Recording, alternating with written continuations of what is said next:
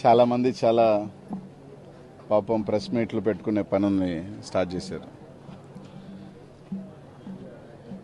మా పులికేసి నన్ను half knowledge పిల్లబచ్చా సిలీ బచ్చా అని చెప్పాడు.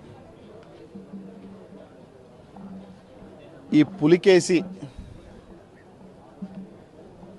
నెల్లూరు జిల్లాలో ఈ పిల్లబచ్చా అని చూస్తే ఎంత ఉచ్చబోస్తున్నాడంటే ఒక్కడి కోసం పాపం తెలుగుదేశం జిల్లా జిల్లా కదిలిందబ్బా. సూలూరుపేట దగ్గర నుంచి మొదలు పెడితే నాయకులు ఈరోజు చూసే కొవ్వూరు పాపం సర్వేపల్లోళ్ళు ఆత్మకూరోళ్ళు మహామహా నాయకులందరూ కూడా ఈ సింగిల్ అనిల్ కుమార్ యాదవ్ కోసం కట్టగట్టుకొని కదిలేరు పాపం. కట్టగట్టుకొని ఆయన ప్రసన్నం కోసము లేకపోతే లే- ఆగ్రుడైపోయి ఉన్నాడు.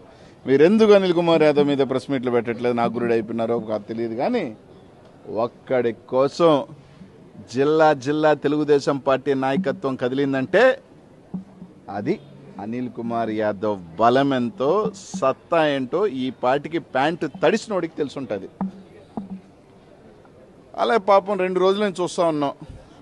మూడు రోజుల క్రితం మా మాజీ సోదరుడు అలా కోసారు గొంతు. సరే మా మాజీ సోదరుడు గొంతు కోసారులే పాపం అనుకునే లోపల నిన్న రాత్రి పాపం నాలుగు సంవత్సరాల నుంచి పాపం ఒకటే పని ఇంకేం పనిలే. నా మీద ప్రెస్ మీట్లు పెట్టడం తప్ప నేను ఎమ్మెల్యేనవుతా మీ సంగతి తేలస్తా.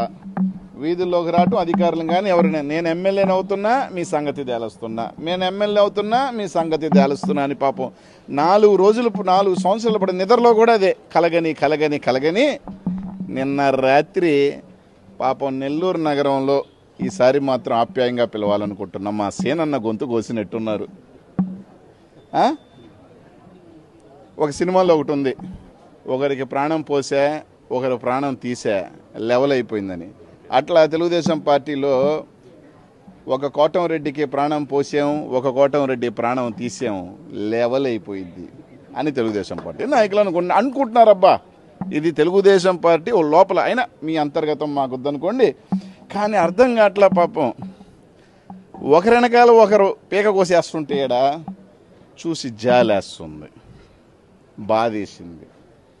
ఓహో నాలుగు సంవత్సరాల పాటు అబద్ధాలు కాబట్టి చెప్పుకోవచ్చు పాపం నానా రకాలు పాపం చెప్పుకోవచ్చు పాపం.